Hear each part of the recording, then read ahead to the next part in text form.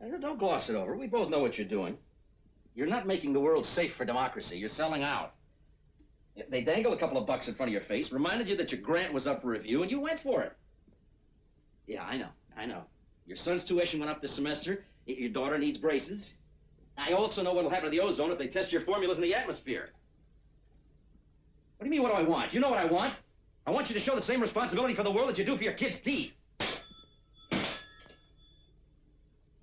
You know, it's the humanities professors that are supposed to do all the hell raising. Men of science are more reserved and more dignified. Where's my beer? They don't drink beer, they sip brandy. It's your fantasy, not mine.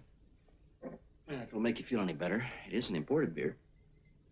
You just love it when you go against the grain, don't you? I'm positive that's why you like being with me. It's so unethical. I'm your student, your TA. I am less than half your age. I'm a triple threat.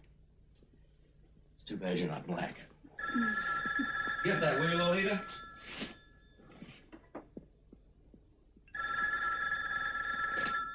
Dr. Jason Voigt's residence. Jason, it's the office of the president. I'm out town. It's not the university president, the president, you know, of the country, America. Oh, that's different. Take his number. Tell him I'll call him back. Jason.